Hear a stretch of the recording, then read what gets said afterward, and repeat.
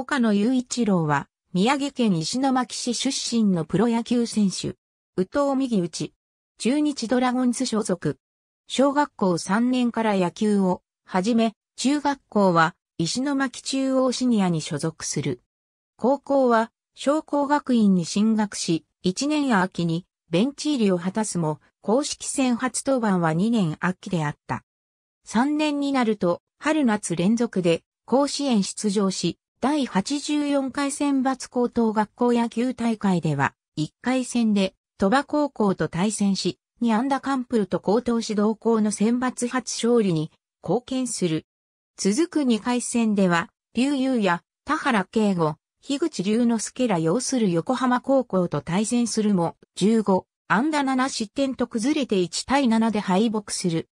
第94回全国高等学校野球選手権大会では1回戦で、前年度優勝の日大三高と対戦し9回1、失点で関東勝利を収めるが、2回戦の浦和学院戦では3回、9安打6失点と炎上し、チームは4対11で敗退する。その後 U-18 野球日本代表に選ばれる。高校卒業後は、青山学院大学に進学する。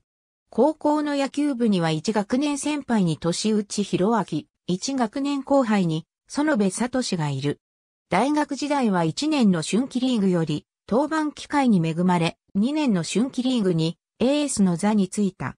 しかし2年時の秋季リーグ戦でチームは最下位となり、2部入れ替え戦の専修大学相手に登板するも、1回自責点4と炎上しチームは4対6で敗北。二部降格を経験する。その後は一部昇格できず二部のまま大学野球を終える。大学の野球部には2学年先輩に加藤匠馬、1学年先輩に吉田忠直がいる。大学卒業後は東芝に入社する。東芝では1年目の第88回都市対抗野球大会の予選に登板し、対 JX エネオス戦では5安打完封勝利し、本戦出場に貢献する。そして本戦では1回戦の対日本新薬戦で7回に失点と高騰し、次戦登板となった3回戦の対 JR 東日本でも8回3失点と高騰し、優秀選手賞に輝くなど1年目から活躍する。2年目にも第89回都市対抗野球大会に出場し、トヨタ自動車東日本相手に6回1失点と結果を残す。この2年目にはドラフト指名が有力視されていたが指名漏れを経験する。社会人3年目となった2019年は宮川明と強力な2枚看板を形成。第90回都市対抗野球大会の本戦では JR 東海相手に9回1失点完投し、好成績を残した。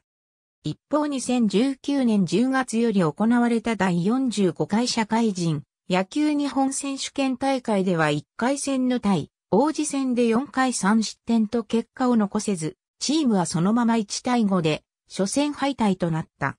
2019年のドラフト会議で中日ドラゴンズから3位指名を受け、2019年11月16日に契約金7000万円、年俸1200万円で仮契約を結んだ。背番号は36。